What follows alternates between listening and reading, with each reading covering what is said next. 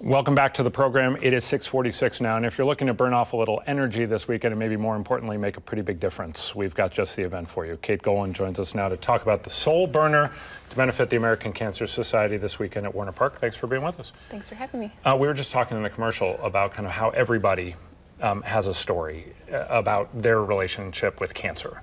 Tell us about your dad. Well, um, my dad was diagnosed with cancer uh, when I was in fifth grade, um, a rare form of liver cancer. Um, and just seven months after he was diagnosed, he passed away.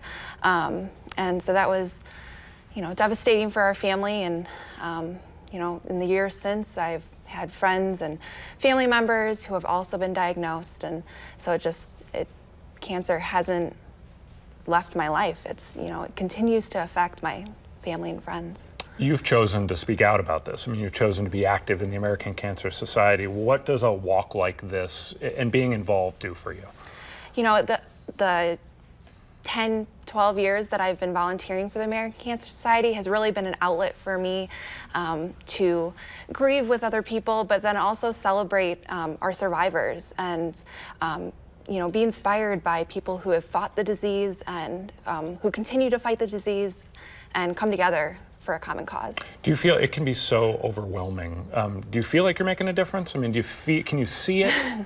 um, yes, I mean, I, I've, um, like I said, volunteered for the American Cancer Society for um, 12 years now, and um, I've been in the office. I've seen um, programs like Road to Recovery, where they um, provide transportation for our cancer patients. Um, I've been to the Hope Lodge in uh, Marshfield, Wisconsin, mm -hmm. that houses uh, cancer patients while they're going through treatments. So I've seen how the American Cancer Society can really make an impact on people's lives. Speaking of the, the Cancer Society, talk about the walk. I mean, what, it, what will it do for the American Cancer Society here locally?